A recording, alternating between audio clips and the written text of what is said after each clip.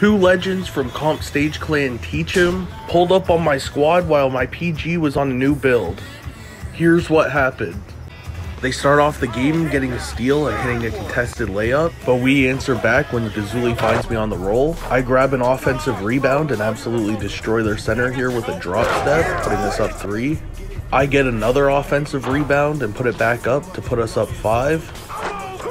They miss an open three, and I do my best Shaq impression, bringing the ball up the floor and finding Flonzy for the open shot.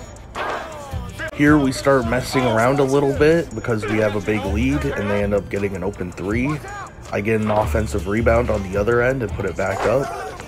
We trolled a few possessions and then they ended up tying the game at 17, so we had to start trying again. We ended up trading twos until it was 22 apiece and then Gazuli hits the dagger. It ended up being a very close game. GG's teach him. Who should we play next?